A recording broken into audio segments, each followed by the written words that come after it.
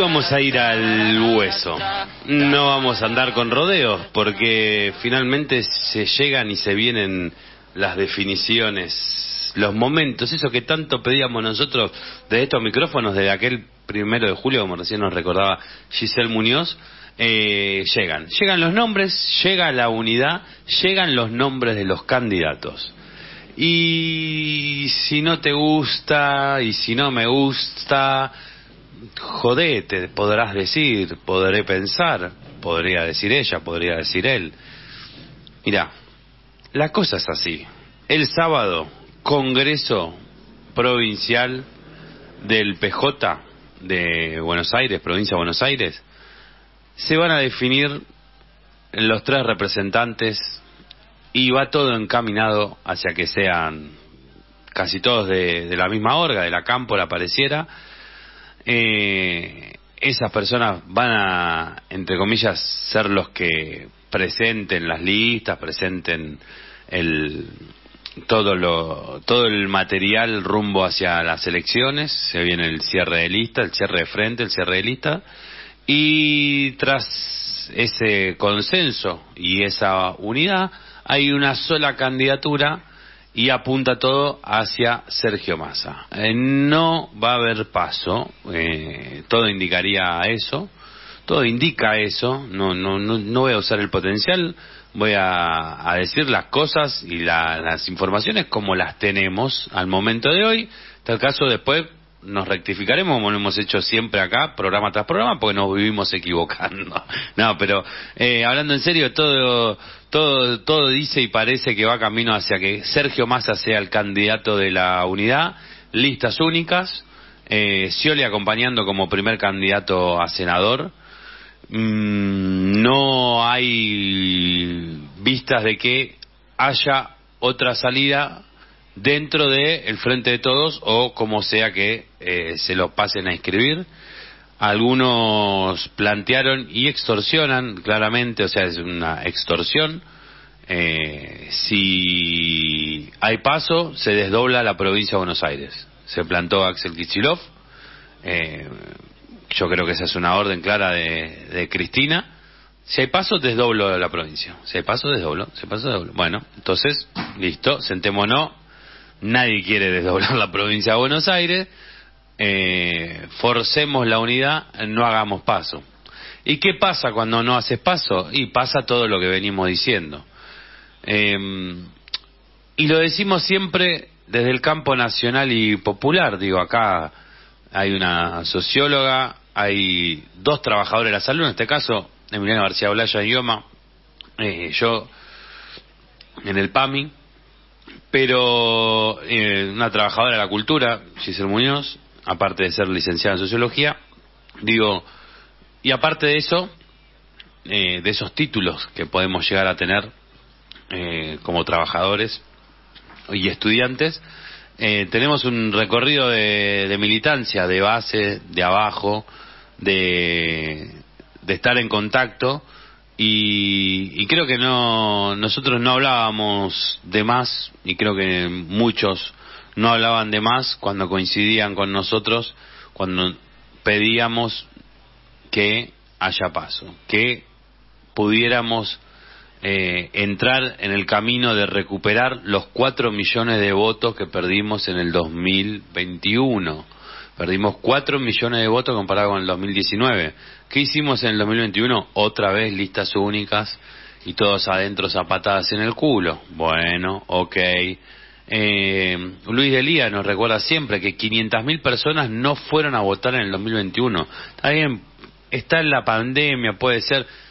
Seamos sinceros, en la pandemia buscábamos cualquier excusa para salir. Y si era para votar, o sea, teníamos hasta el permiso, entrecomillado no había el miedo a no salir a votar.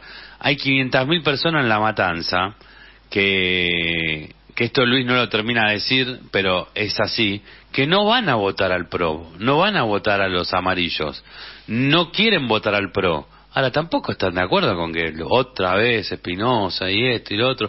Haceme jugar, ganame Espinosa en una interna. Jugala, jugala, Kichilov, jugala, eh, Massa, Bueno, yo desde acá, de Conjura Rebelde, acá con los compañeros que cada uno eh, expondrán su, su posición después, eh, estoy muy, muy eh, decepcionado y en, desacuerdo con esto. Y esta vez creo que llega también el momento de plantarse. O sea, Cristina, Cristina no es Perón. ¿Sabes por qué no es Perón, Cristina? Porque Perón tenía a John William Cook, al Pepe Frimenich, a Osinde, a López Rega, al Pepe, a todos tenía. A todos sentados en la mesa. A todos. Por eso es el que conducía. Con Cristina no nos sentamos todos, no nos engañemos más. Se sientan algunos, muy pocos, y que no son representativos de todo el movimiento. Entonces, cuando quizás escuchamos a referentes políticos como hoy en 7.0, Héctor Recalde, que le preguntamos específicamente por cómo o qué es lo que, que pensaba sobre las PASO y sobre, bueno, comentó que él estaba esperando la decisión de Cristina. Yo espero la decisión de Cristina sentado. Ella conduce, yo me siento, espero, me señala hacia dónde tengo que ir y yo voy a ir. Eso es paja mental, hermano. Yo entiendo, te pusieron en el Consejo de la Magistratura, tenés que pagar favores, todo tenemos que... Pero eso es paja mental.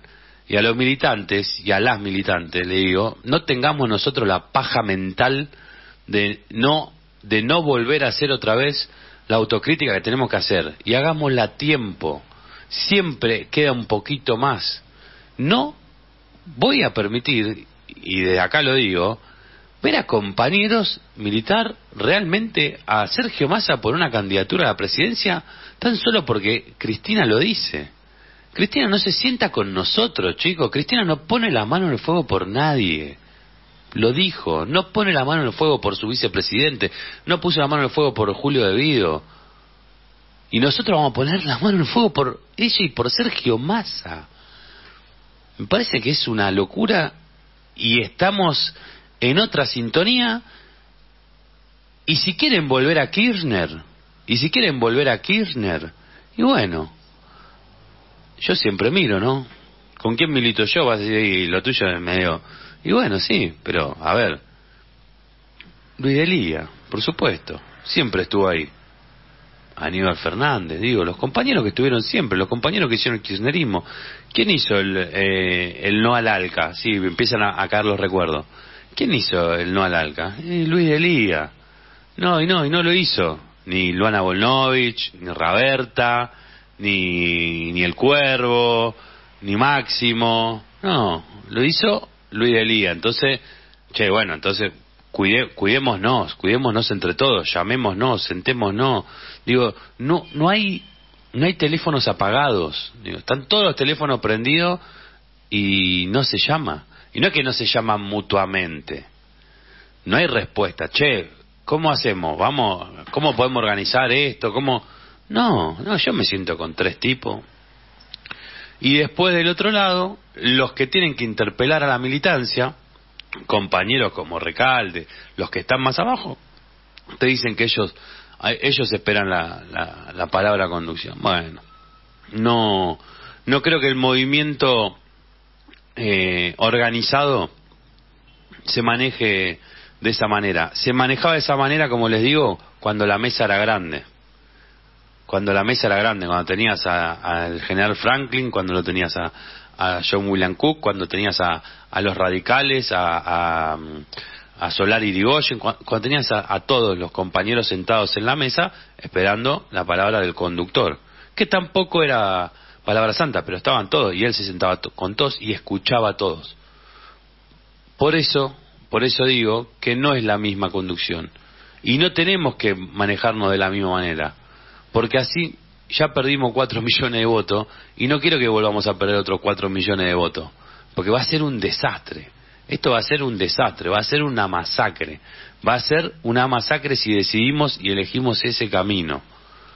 No sé hasta dónde vamos a llegar, no sé hasta dónde vamos a ir, Nosotros, y ahora volviendo a lo, a lo político partidario eh, y militancia, vamos a contar en un rato, el plenario eh, que hubo ayer con integrantes de más de 20, de, de 20 provincias de, de la FTV Miles, eh, donde se debatió, donde estuvo presente el compañero Leonardo Fabré por, por APOPS, eh, en representación de, Guillermo Moreno, donde estuvo presente Alberto Samid también, donde se trajeron propuestas, donde se trajeron propuestas de una candidatura, eh, si esto avanzaba, eh, si la decisión de, ir hacia unas listas únicas manejadas solamente por una organización y con Sergio Massa a la cabeza, es llevar a Guillermo Moreno como presidente, a Luis de Lía como como gobernador de la provincia de Buenos Aires y Alberto Samid de intendente de La Matanza. Una matanza que Samid quiere partir en cuatro. Hoy, hoy habló acá con nosotros. Eh, pero bueno, ese es, ese debate de, otro momento. Eh, eso es lo que se decidió en el, en el plenario por unanimidad de la FTV Miles. Se decidió no, no acompañar el, el 25 de mayo esto que se llama operativo clamor de, de Cristina Presidenta. Eh, y, y bueno, en mi persona estuve presente, obviamente al ser por unanimidad acompañé todas, todas esas propuestas.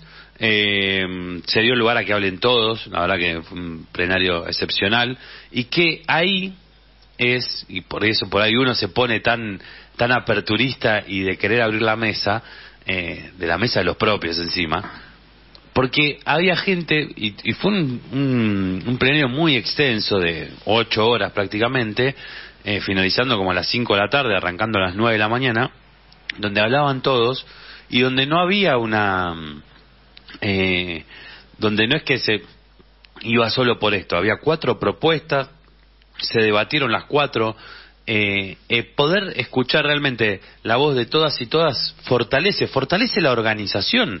Y eso es lo que quizás uno está pidiendo, porque dice, bueno, si en la mesa nos tomamos el tiempo de que eh, ocho personas, ocho referentes, diez referentes, veinte referentes se sienten en una gran mesa y que de esos veinte referentes de veinte organizaciones distintas, políticas, partidarias, se resuelva se resuelva ir con listas únicas, pero vos sabés que en esa mesa podés encontrar a, no sé, digo, por el radicalismo a Leandro Santoro y a Moró, por el Frente Renovador a Sergio Massa y, no sé, al Vasco de Mendiguren, a, Galmarini, a Cecilia Moró, a, la, Marco Labaña.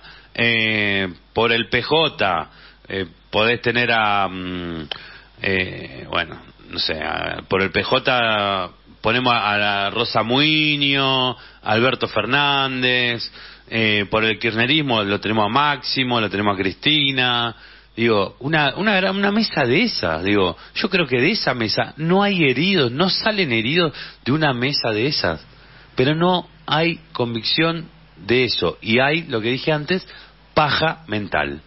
Están sentados esperando que le digan qué es lo que tienen que hacer y a quién hay que votar. Y eso se llama paja mental. Y lo vuelvo a repetir porque me indigna que no seamos capaces, después de tanto tiempo recorrido, de tanto tiempo recorrido, de hacer por una vez o de volver a hacer por una vez las cosas bien. Y si quieren volver a Kirchner y esperar que que ella vuelve, tienen que hacer las cosas bien. Porque si no, se va todo al carajo, se va toda la mierda. Nosotros que militamos toda la vida, ya no estamos yendo, nos vamos a militar a Moreno, nos vamos a militar a Delía, vamos a dejar las pelotas del corazón donde la tenemos que dejar con la gente que queremos que la tenemos que dejar. Entonces, ustedes sigan escuchando esta canción que nosotros vamos a estar tocando otra.